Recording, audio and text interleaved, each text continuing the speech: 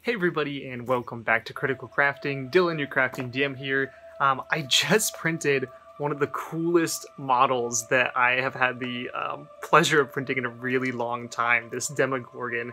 And I'm not finished painting with it yet, but um, it inspired me because I wanted to put some like object source lighting on it. And then I thought to myself, I can just make it glow. So today I'm going to be showing you how to add um, some lights to your tables so you can create some like really cool bases and terrain that will glow. And if, you know, terrain isn't your thing and you want some minis that are to glow, I got you covered. This video is going to be divided up into a couple different segments and I'll put different timestamps in the description so if you want to skip forward through different things just check down there and you can jump through the video.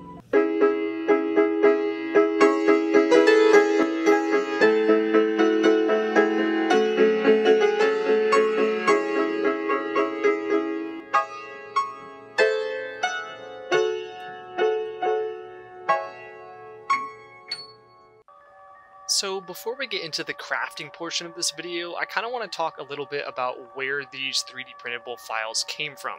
These are from Archvillain Games, which is one of my favorite companies that are creating 3D printable models right now.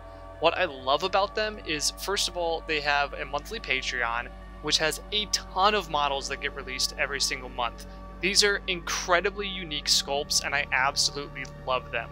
One of the things that I really appreciate that Archvillain does that's very different from most other 3D printers or 3D print designers is focus heavily on detail in their models. Every single one of these models is it just has an insane level of detail, something you would expect out of an extremely expensive resin model. Um, the other thing that I love about this is that most of these, if not all of them, as the name would suggest, are villainous characters. I really don't need any more PC characters to throw into my game, so having a bunch of evil characters or monsters is super, super beneficial for me.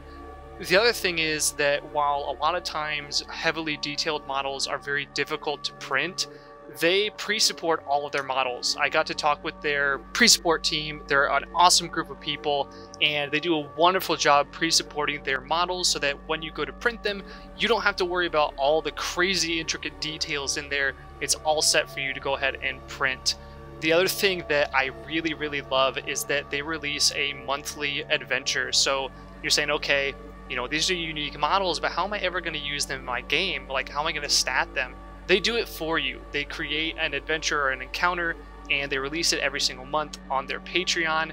You can find a lot of their files for sale on My Mini Factory, but a better deal would be to sign up for their Patreon because they just have awesome, awesome stuff. So that's my little fanboy bit there about Archvillain. I love the fact that it's like macabre and dark, and, and that's kind of my thing. Um, but that's where these files came from that you're seeing today. And if you like what you see, check them out. They're an awesome group of people. I printed these models using translucent resin from Elegoo as well as the Phrozen Sonic mini printer, and I'll put links to those in the description as well. This is my first video that's combining both 3D printing and crafting, and I'm hoping to do more where I'm combining the two in the future, because I really enjoy both hobbies.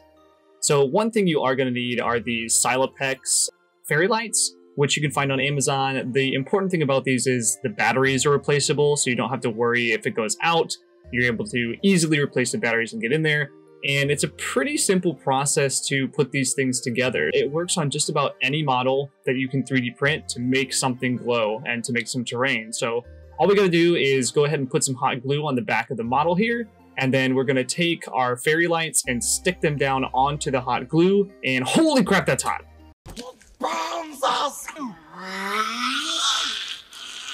So once you have your model printed, all you're going to do is figure out where you're going to stick those lights. I already know I want light coming through some of the cracks as well as where the lava is on this, so I kind of have a good idea of where I want to put everything. Because terrain is such a big thing and these are such small lights, I want to make it as bright as I possibly can. So I put some aluminum foil on the back of this just to make it a little bit more reflective.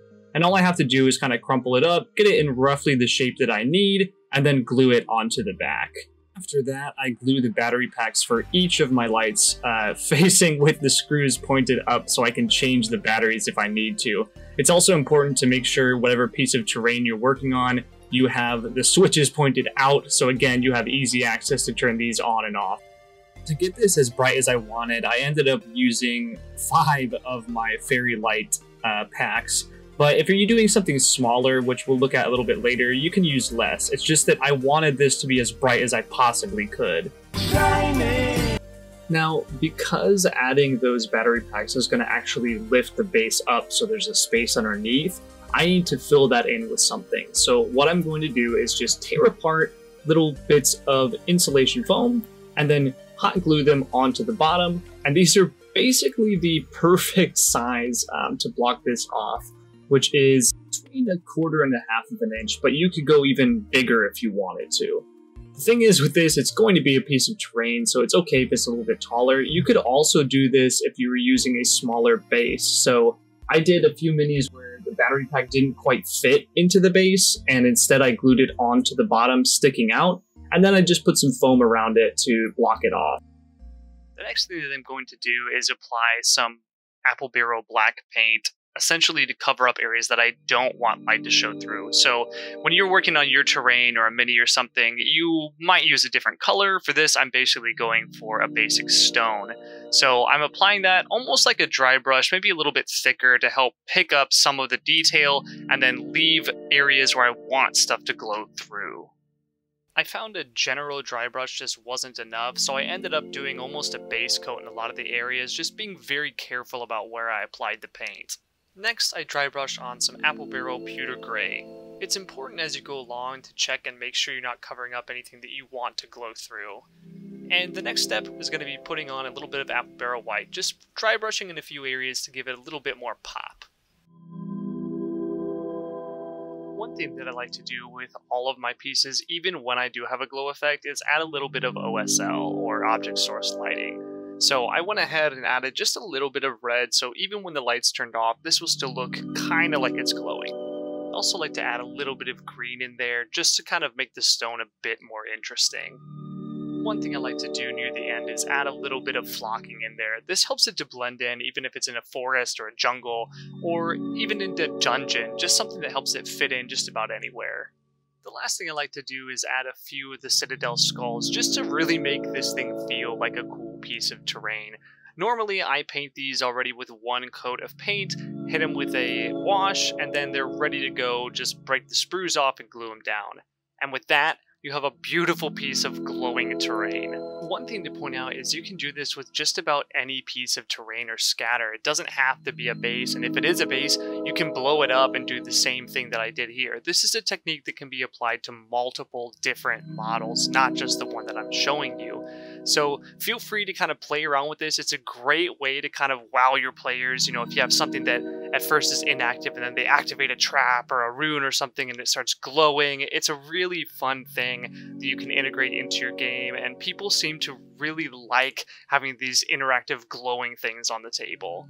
So we've looked at how to make some terrain pieces. Now let's look at how you can do the same thing and create a glowing miniature.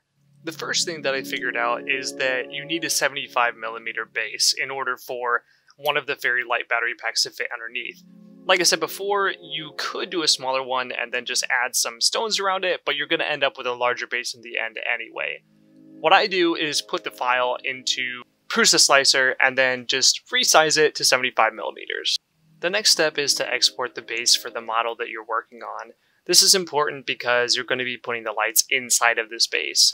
You export it as an STL, and then I open another free program called Meshmixer with the file in there. An added precaution will be to run this through 3D Builder, which will allow you to repair it if there's any issues when you're exporting the model. So here I've hit Edit and then Generate Face Groups. What I'm going to be doing is extending the base down so there's room for that battery pack to fit inside. Next, I use the Select tool and I'm just going to select the bottom of the model so I can pull it out. I want to try and get this as exact as possible and not extend out over any of the other parts of the model I don't want to manipulate. So checking around to make sure nothing has extended out is a good idea, and then making sure you unselect those portions. Once I've done that, I'm going to deform, transform, and then pull that piece out so that it extends. Checking around, it's not a perfect round base, but it's not a huge deal for me. I can sand it if I need to. Now we're going to hollow the model so we can fit that inside. So we go to hollow, it hollows it with the default settings there, and we're just going to hit accept.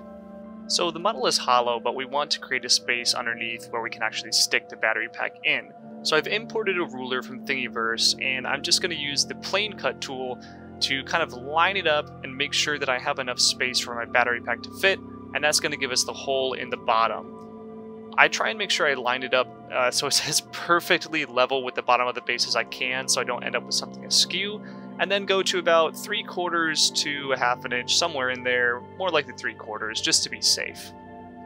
And I'll hit accept and plane cut. So now you can see on the bottom there is the open space, and that's where we're going to stick our battery pack. One thing you can do, but isn't necessary all of the time, is to put this into Chitubox and then add a hole.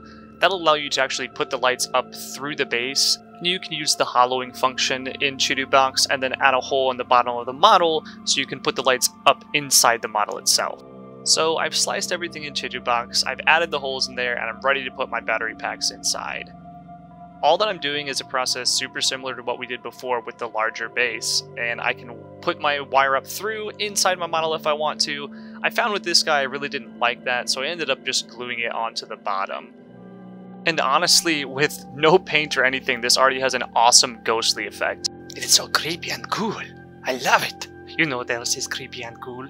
The video on durable spiderwebs. Nope, you should nope, check it out. Right now. Uh, Back in the drawer. Back No. in the crafting No, drawer. There you Help. go. Come on. I can help Get you. in there. Ah, more. And I'm going to add some reflective aluminum foil in there as well. The process is the same as what we did earlier with the larger base, just gluing the lights in, gluing the aluminum foil, and then gluing in our battery pack. I found that with the 75mm and the height that I used, I had enough room to get my fingers in there to turn the switch on and off. The next step is to just use my super glue and my Instaset spray to put the model together. I like to add paint to my models even if they are going to be glowing, so here I am mixing Game Colors Livery Green with Model Colors Flat Green to create sort of a yellowish tone. Um, it's pretty bright, but if I just use this, it picks up all that really cool detail. Since I want this guy to have kind of like a Minas Morgul Wraith feel to it, I'm also going to add in some of the Model Color Lemon Yellow. This is just going to add a little bit of highlight in a couple different areas. One thing that I find new painters seem to not do a lot is put on multiple layers of paint. So um, I've been working with some of my friends and they've been starting out painting, and what I'm finding is very often they'll put on one layer of paint and then they're kind of like done. And if you just add two or three different layers and just put them in a few various areas, it really helps to give your model this kind of like light effect to it. It looks much more finished. So I really do recommend um, this sort of a painting tip adding something like that. I had already black bombed the base, so now I'm adding some more of that apple barrel pewter gray, dry brushing it on, really quick and easy just to give it a little bit of a stone effect. And since I like to add a little bit of OSL so I can use this even if it's not lit up, I've once again mixed that game color livery green and now I've added some of the yellow so that I can give it a little bit of that lighting effect on the base. So there you have it, some simple techniques that will help you to be throwing some awesome glowing stuff at your players, keeping them engaged, and just making your table look awesome. Uh, I hope you liked the video, please do like and subscribe if you did. We'll see you next time on Critical Crafting.